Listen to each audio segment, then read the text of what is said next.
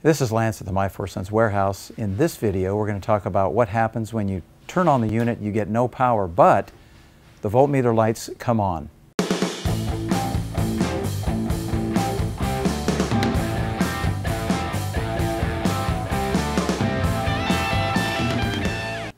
Okay, so if, if we turn on the switches, we don't hear any pump noise, but there is a voltmeter light, the most common reason why this occurs is because we've forgotten that it's an on-demand pump, and all you need to do is pull the trigger.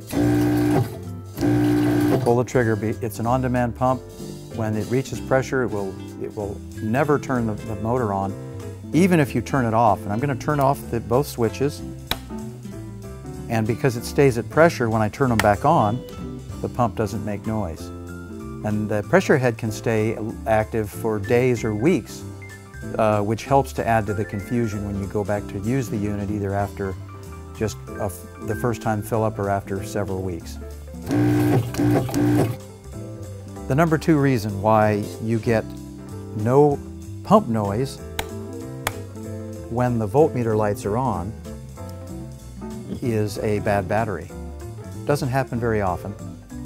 There are three things that you that will tell you that, that help indicate that it's a bad battery. Number one, in this case, it shows a green and a red light, but if your battery is low voltage, the green light will be off and you'll have just the red light on.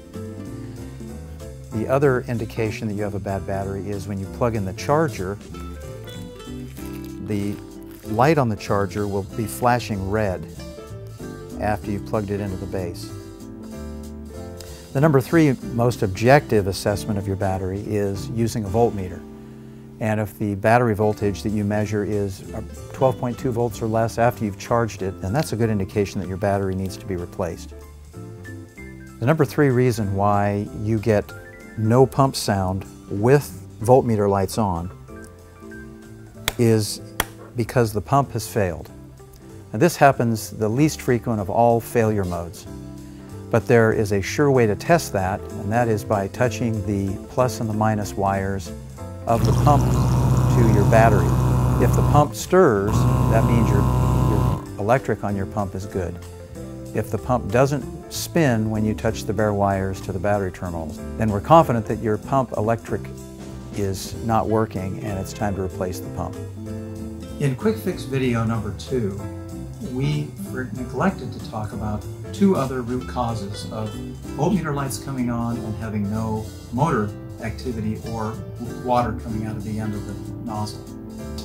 If you turn on your unit, you get voltmeter lights but no pump sound, and by the way, this one works, so you're hearing the pump. But if you turn this on, you get lights and no flow.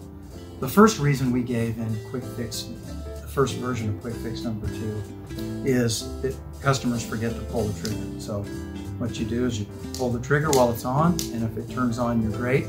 Otherwise, if you pull it and there's no flow, now the next thing you need to look at is a clog, possibly in the wand assembly. So just start taking off parts, beginning with the nozzle at the end. And you pull the trigger. If it doesn't work, you don't get flow, undo the flex tip. Shoot it into the tank. Again, if it doesn't work, of course, if it, it starts flowing, then you, narrowed it down to the root cause. Now, if you, if you take the wand off and you shoot the valve and it still doesn't go in, the, the reason why it's not flowing is more than likely the red O-ring piston has a O-ring out of position. So we always ship an extra O-ring piston with the, with the nozzles. So we have a video showing how to change this out in about two minutes. So go ahead and change that out, try. Um, if you still don't get flow, obviously then just take the valve off uh, and work your way down to the motor.